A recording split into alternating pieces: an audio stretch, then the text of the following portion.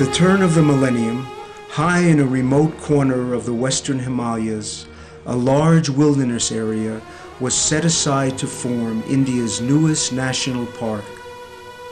And with the creation of the great Himalayan National Park, a unique experiment began looking to answer.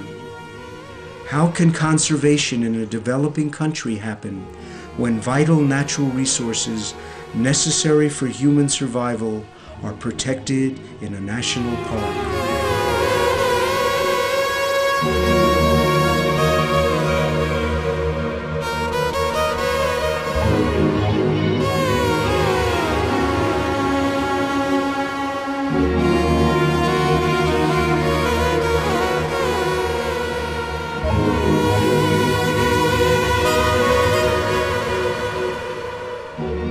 This is the home of the western tragopan, one of the most endangered and spectacular pheasants on our planet. The local people call them Jujurana, king of the birds, because of their magnificent plumage. Jujurana is a symbol of the great Himalayan National Park, not just for its beauty, but because it also represents the environmental, social, economic, and political challenges of protecting something rare, valuable, and wonderful. The park is one of the few remaining protected areas in the western Himalayas and is representative of many distinct plants and animals. Some very rare, others found nowhere else in the world. It is the home of endangered mammals like musk deer, snow leopard, and serow. Along with Jujurana, the forests support other spectacular pheasants, including monal, koklass, kalij, and the endangered cheer. Since time immemorial, this rich biodiversity has also been part of the sustenance of the local mountain people. In the past, the park's forests provided cedar and pine for building and fuel, mountain pastures and fodder for cows, goats, and sheep. Plants and birds offered valuable products for distant markets, and large mammals were hunted for food and their pelts.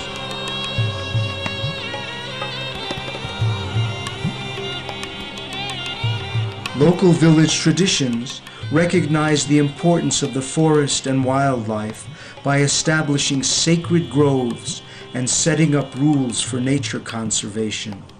Now, as population and modernization pressures in India increase, as roads and dams bring both benefits and degradation to the environment, the balance of nature in the western Himalayas is under increasing threat.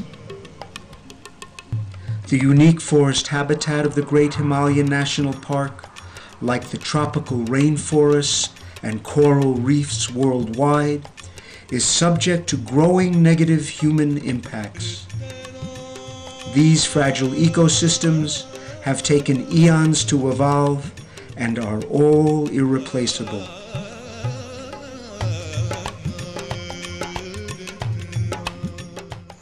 Before creation of Great Himal National Park, there were about 4 to 5,000 people who were going for herb collection in that designated area. And there were about 20 to 25,000 sheep and goats of the local people. They were there for grazing. So all this was enhancing the biotic pressure on the park. Since 1999, that is creation of Great Himal National Park, the excess of local people was stopped in the park area. They were paid compensation. That means this money was to purchase their rights of herb collection. For grazing, they were told that they will be given separate and other sites for grazing outside the park. So closer of park to the local people means conflict between the local community and the park. The park administration was told to keep the people out from the park area. While the local people who were going into the park for ages, for several generations, they resented it a lot. In order to resolve this conflict between local people's livelihoods and management aspects of Great Himalaya National Park, the management started approaching the local people and started talking to them, telling them that they will try to provide them alternative income generation sources. Located in the north of India, the park was created by the government of the state of Himachal Pradesh based on its remoteness and the opportunity to conserve the characteristic plants and animals of the western Himalayas. The park is also next to the boundaries of the Pin Valley National Park on its eastern flank and the Rupi Bhaba Wildlife Sanctuary on the southern side. Together, this has created a large protected landscape for conservation and wildlife migration. Over 750 square kilometers were set aside as a conservation area, excluding human activities. The park is naturally protected on the northern, eastern, and southern boundaries by areas under permanent snow or impassable ridges.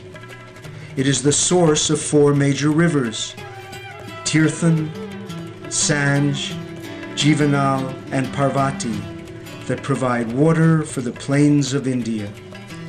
By protecting these river and forest resources, the park helps to ensure a climatic balance and the continuation of downstream water.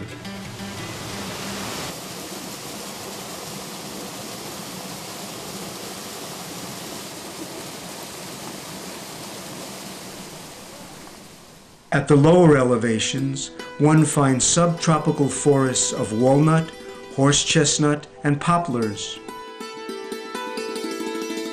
Here live giant Indian flying squirrels, goral, Himalayan palm civet, Kalij pheasants, thrushes, and magpies. Between 2,000 and 3,500 meters, temperate forests dominate Majestic deodars rise proudly. Stately oaks spread their gnarled branches, and fir and spruce trees add their fragrance. The steeper slopes and ridges are the home of large mammals. Himalayan tahr dance from rock to rock. Himalayan black bears search for honey. Pheasants forage for tubers. Above 3,500 meters, trees give way to rolling alpine meadows, splashed with a diverse variety of tiny flowers and medicinal herbs.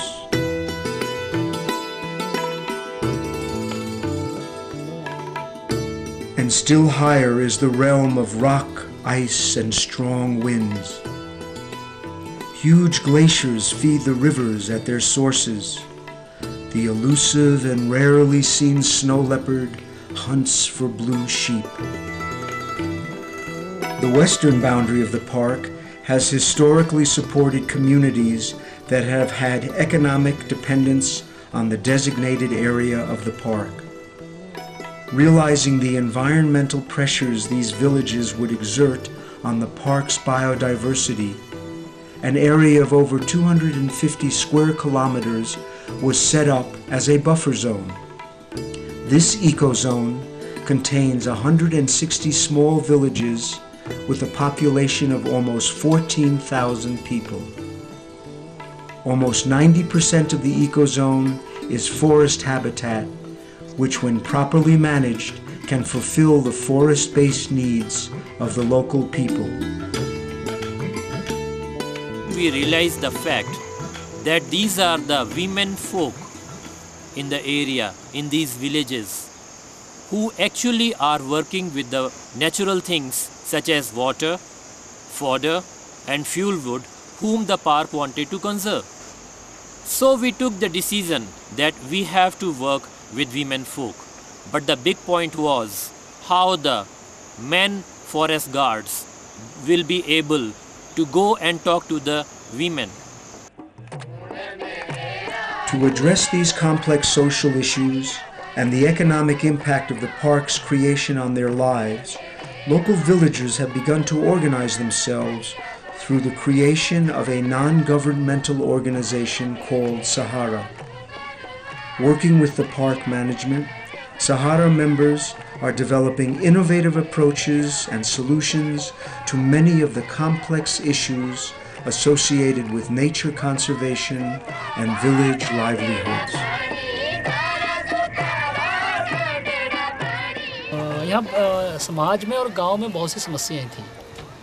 जिसमें महिलाओं की समस्या ये थी कि उनको घर से बाहर नहीं निकाला जाता था और ना ही उनको बाहर निकलने की छूट थी। तो ऐसी समस्या थी, ना ही महिलाओं के हाथ में पैसा आता था। तो सारा ना का उद्देश्य के साथ ये हुआ कि महिलाओं को ऑर्गेनाइज़ किया जाए एक जगह। और ऑर्गेनाइज़ करके उनको आय वृद्धि के साधन दिए जाएँ जिससे उनके समाज में सोशल सोशल के अंदर आ, उनका जो है एम्पावरमेंट हो जाए। तो उसके लिए सारा ने काम किया शुरू किया ये तो हमारी समस्या थी यहाँ की। इनकम जनरेशन को बढ़ाने के लिए महिलाओं के लिए आ, कुछ चीज़ों का पर काम किया जैसे वर्मी कंपोस्ट पर काम किया हमने मेडिसन हर्ब्स की प्रोपोगेशन किया हमने जंगल में। हमने इको टूरिज़्म का काम किया, हमने स्ट्रीट प्ले का काम किया जिससे महिलाओं को और महिलाओं के बच्चों को इनकम हो। हमने किडनी बीन्स पर राजमाश पर काम किया और जंगली ऐसे मसाले थे जिन पर हमने काम किया। तो आगे जो अब हम करने जा रहे हैं, क्योंकि ये एक छोटा सा यूनिट था जिसमें हेम्प पर हमने कुछ बैग्स बनाने का ट्रेनिंग दी या निटिंग का काम किया या वीविंग का काम हमने इनको कराया। Since the park's formation in 1999, over 980 women have been organized into 95 women saving and credit groups. Each woman of the group is encouraged to save one rupee a day, which by 2004 had totaled over 600,000 rupees. Through these savings, the EcoZone villagers, who in the past exploited park resources, have now generated 26 lakh worth of business. मतलब कट्ठे हाँ इकट्ठे करिए group है जो मतलब चालीस हजार Though the park is now off limits to resource exploitation, it still offers wonderful opportunities for people to visit and experience nature. As part of income generation efforts for local villages, ecotourism is being developed for trekkers from India and abroad. The park's natural beauty and opportunities to view wildlife in its varied ecological zones offer unique Himalayan wilderness experiences. The park also has specific guidelines and rules for visitors to ensure protection of its fragile environment.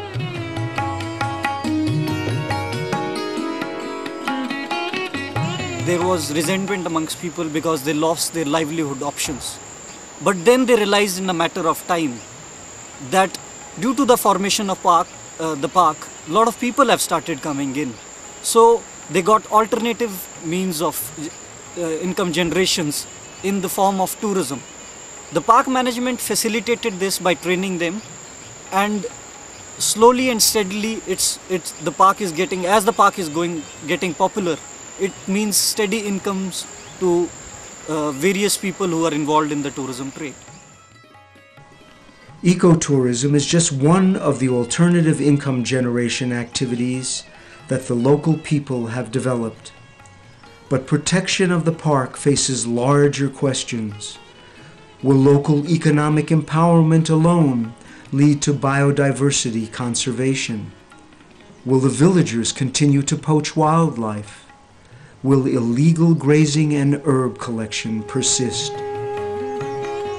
The park management strongly feels that this is strong leadership and a very nice congenial atmosphere of working which can do wonders among the local people.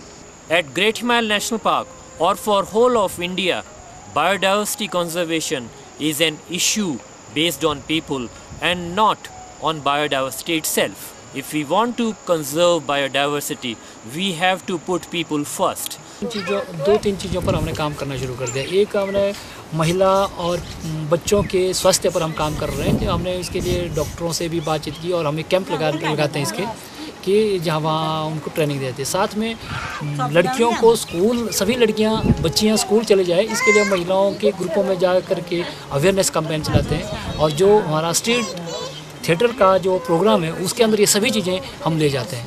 अभी अभी थोड़े दिनों पहले हमने यहाँ पशु का काफ़ी पशुपालन काफ़ी है तो काफ़ी बीमारियाँ हैं तो अभी हमने काफ़ी ग्रुपों को हमने उसमें ट्रेंड करवाया कि कैसे उनको वैक्सीनेशन किया जाता है पशुओं को जिससे कि बीमारी ना फैले। ये एक सोशल एस्पेक्ट्स है हमारे जिन पर हम काम कर रहे हैं। दवाई वगैरह कोई ज़रूरत तो पड़ना तब तुझे रख। क्या पड़े तो ठीक बनी अपनी ठीक पोजीशन बनी अपनी के बच्चे हाँ शोर जितना पड़ी भी ते तुझे कोई जरूरत तो पड़ी ते रही थे गाड़ी आप मुझे गलबात करी ना एक दूसरी जरूरत करी मतलब पूरी ना ते तेरे फायदा So is nature conservation just a question of dealing with economic and social issues, or are there other forces at play? The members of Women Saving and Credit Groups realize that they can do a viable income generation activity only when they are in a group. We have learnt at Great Mile National Park that economic empowerment is part of a big process. A process which involves social and political empowerments as well. The Women Saving and Credit Group, by doing their income generation activity, are getting economically empowered. But they are getting socially empowered through programs such as literacy and women and child care. At the same time, their participation at panchayat level is empowering them politically. The voice of poor is heard and the poor can also make a choice in spending the money or the budget that comes to a panchayat the, uh, the, the, the, effort which has been made here through self-help groups and uh, through uh, voluntary organizations or community-based organizations, uh, which I believe they also have their own little dance troupes uh, who go around uh, spreading the message of conservation. I think that is that's a fantastic effort, and it must be it must be supported. It must be supported uh, not only by the government, but it must be supported by civil society uh, at large. So one of the things that the park is trying to do, which I, I, celebrate and I applaud and hope to, you know, contribute to in some small way, is create uh, sustainable livelihoods for those people that have been excluded from the park for whatever they were taking, wood, animals, uh, herbs. Uh, watching this over the last four years, there's been conflict and there's been efforts at resolution of that conflict, and that's a natural human experience. People have different needs and they have different agendas. Uh, but India is doing a great thing by setting aside an area of over 750 square kilometers as a national uh, gift to the people themselves of India, and as I've said, you know, to the to the world really. So this is to be uh, celebrated and congratulated, and also realize that it's not an easy thing to do because of all these conflicts.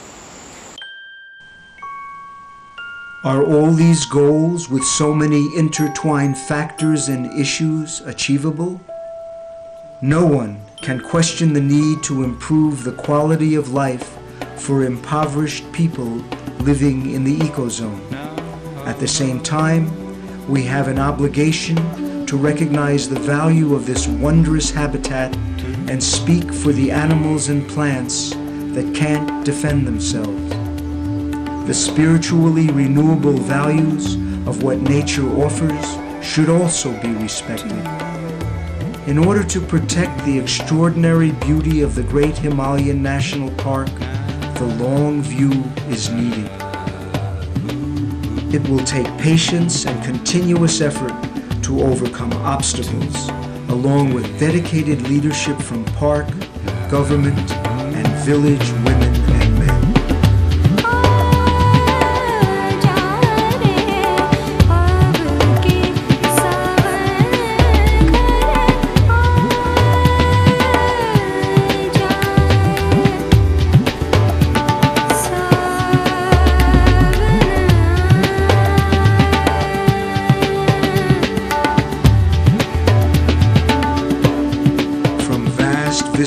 of the mountain ranges to the small details of flowers, lichens, and granite crystals. From the morning calls of the koklass pheasants reverberating in the forest to the growl of a leopard warning at night. From easy trails in the ecozone to strenuous ascents to the high glacial passes, nature embraces you.